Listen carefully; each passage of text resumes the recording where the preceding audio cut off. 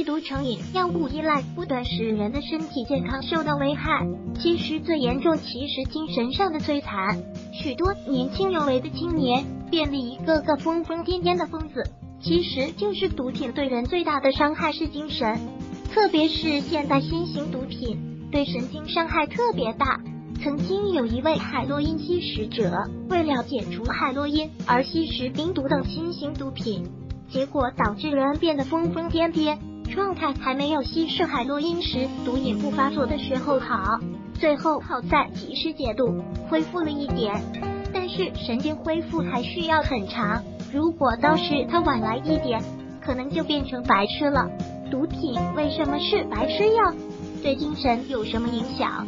现代新型毒品甲基苯丙胺、麻古、K 粉、摇头丸等，会直接作用于人的中枢神经系统，会对大脑神经细胞产生直接的、不可逆的损害，导致急慢性精神障碍，有迷幻作用，含毒性，吸食后呈现健谈、性欲亢进等生理上的反应，甚至容易将隐私说出。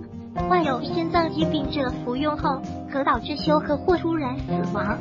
成瘾性很强，对社会造成很大危害，对精神的损害主要表现为多疑不安、焦虑、过敏、思维活跃但难以深入思考，表现为个最具典型的精神病性症状行为，及长时间反复重复毫无意义的相同动作，也不厌烦，如一直不停的揪发、发耳等等。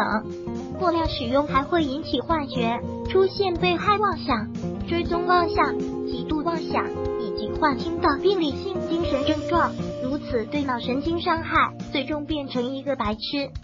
不要以为新型毒品吸食者外表看起来没有什么不同，就觉得没有什么危害，甚至以毒戒毒。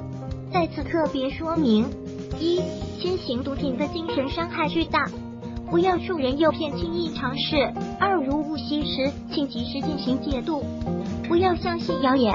如果喜欢本视频，请分享并订阅本频道。